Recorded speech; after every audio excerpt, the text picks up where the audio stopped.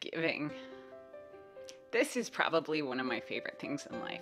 We do it a lot regularly, so random acts of kindness is something that we're all kind of familiar with here. But it's something that I think everybody should do. It feeds your soul and takes you out of that place where all you think about is like me, me, me, me, me, and into other people's hearts.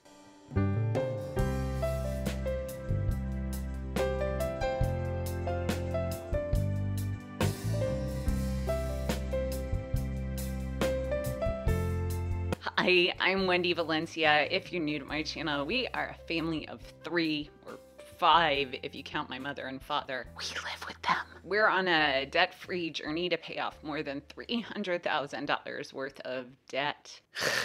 that number disgusts me every single time I think about it. But on the upside, we're well over halfway. So, yeah, we've paid off this much to date which is pretty awesome. So I'd love it if y'all would just stick around and walk through life with us. That would be amazing. Budget Girl invited me to participate in this collab, which I love. And I know every single one of you who are watching already know Budget Girl, but just in case you don't, I'm gonna link her channel and all the other collaborators down below. There's a lot of them.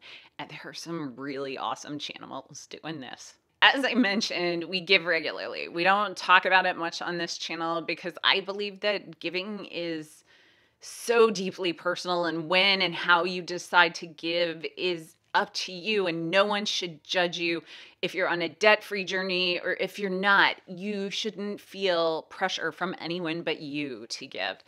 And in truth, if you're familiar with my channel, giving's actually how we got into debt. We took out bank loans for over $170,000 helping other people out. We never really thought about anything more than the payment. But then uh, we didn't have trouble making the payments. We we were good financially, but then we moved to Washington D.C. and things started to look a little tighter because this place is super expensive, y'all. We decided it was time for a change, and here we are. And we paid off this much money. Did did I mention? Seriously. The thing is, we we have a giving category, and there's stuff in it every month, but now our giving's just planned and budgeted, and we don't overgive usually. Christmas time is a problem for us because we have a tendency to overgive at Christmas time. In fact, it's usually pretty disastrous for us, you know, because we do our budget and then we're like, well, shouldn't we give some to this person and this person and this person? And I really want to give this item to this person. And it's a little more than we plan. It, it turns into a debacle. but in 10 years, we really haven't ever stuck to our Christmas budget but we've come close a couple of times. But we are no longer struggling in January to recover from Christmas because we're doing awesome financially. But since we keep our giving private, today I want to talk about some of the like most significant giving that I've personally done in the past. And we're not talking about like the most um, largest amount of money giving. I'm talking about the most like impactful giving that we've ever done.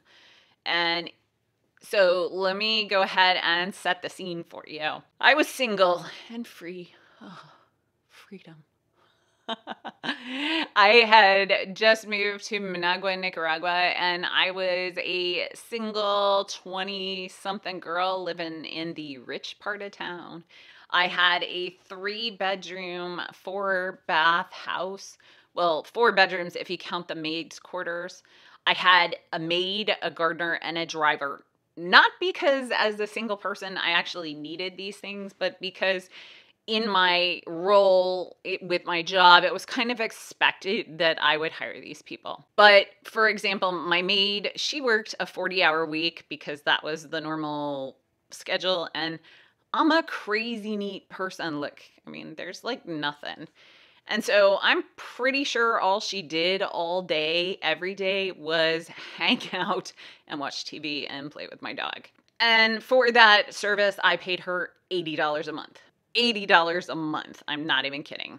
And when I was living in Nicaragua at that time, there was a person standing in every single intersection begging for money. And I'll tell you, I don't really support begging in any form, shape, or way. I don't agree with it. I think there are better ways that people can get help.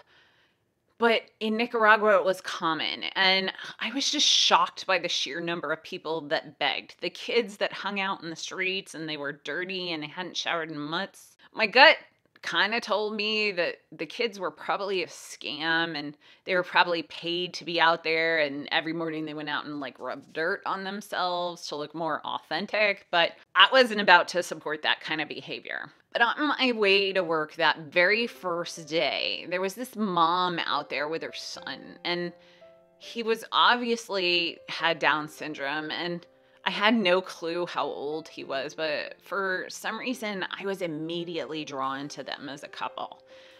I saw them on the way home and I saw them on the way to work and on the way home the day, the next day, and the day after that, and the day after that. I really wanted to give them some money, but I didn't think pocket change would actually help them. So I never gave them any money. But every day as I drove by, I smiled and waved at the boy, kind of like a I see you, I know you exist sort of wave. He clearly loved his mom, and I'd often like see her sitting on a milk crate with this ginormous kid sitting on her lap. But she looked tired, and I knew she had a rough life. So, over the years that I was in Nicaragua, they grew to recognize me. I mean, look at me. I have blonde hair and blue eyes, and they're not really common in Nicaragua. So, I pretty much stood out like a sore thumb. But every day as I drove by, I'd smile and wave. I never gave them any money, and I actually felt really bad about it because I felt like I had developed a connection with them but I had a bigger plan. So after more than three years there, when it was time for me to leave the country and move to Colombia, where I'd meet Mauricio eventually, I moved into a hotel for a few days. The hotel was located on the other side of town, so I knew I probably wasn't going to see this mother and son team again. And so the day before the movers came to pack me out, I went to the bank to get cash. I had planned from very early on that rather than give them money every day, I was going to wait until one of my last days there and give them $100. So I took out the money from the bank and I put it in an envelope. And I went to a local toy store and bought the boy a wooden airplane. He never really had anything to play with while he was out there. He just kind of hung out and didn't really do anything. So I thought maybe a toy would be cool for him. And I really wanted to give him something too. So as I went home that day, I came to the light and I smiled at the woman and I kind of like waved her over.